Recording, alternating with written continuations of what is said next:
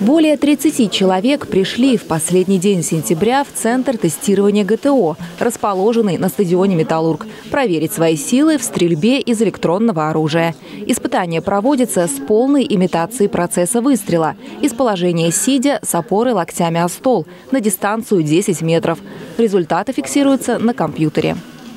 При сдаче этого норматива ГТО применяется аналог пневматической винтовки, но здесь слабее отдача. Три пробных выстрела, пять зачетных. Общее время на сдачу теста не ограничено. На золотой значок нужно набрать 30 очков. Тестирование по стрельбе не входит в число обязательных, но его можно выполнить по выбору.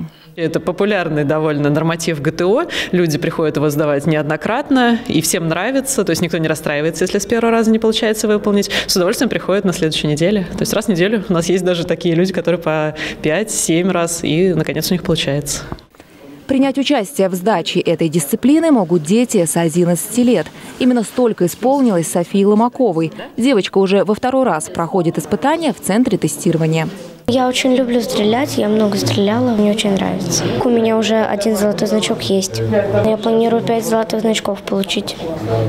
Учащийся Видновской школы номер 7 Константин Альмяшев пришел на стрельбу впервые. И, как говорится, новичкам всегда везет. Первым выстрелом попал в десятку. В итоге набрал 30 очков. Я не готовился, но я до этого стрелял уже и, и в тирах, и из пневматических винтовок.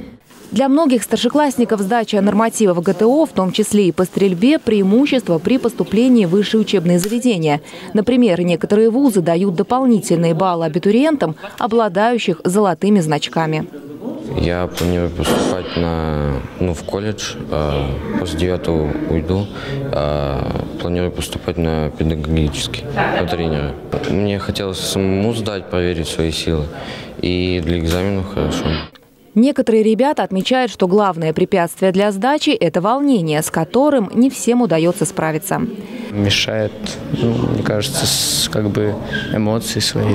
Ты, ну, ты нервничаешь, когда, например, когда мы сейчас стреляли, ну, когда ты нервничаешь, у тебя руки немного трясутся, и это ну, как бы мешает. Пройти тестирование по стрельбе могут все желающие. Стоит только предварительно записаться. Мы стараемся сейчас делать, вот уже школьное время началось, всем, конечно, нужны знаки, поэтому мы стараемся раз в неделю делать. Ну вот пока ориентируемся на среду, вот можно предварительно подать заявку на нашу электронную почту gto len и приходите в день сдачи. Наталья Буслаева, Александр Логинов, Сергей Ларин, Видное ТВ.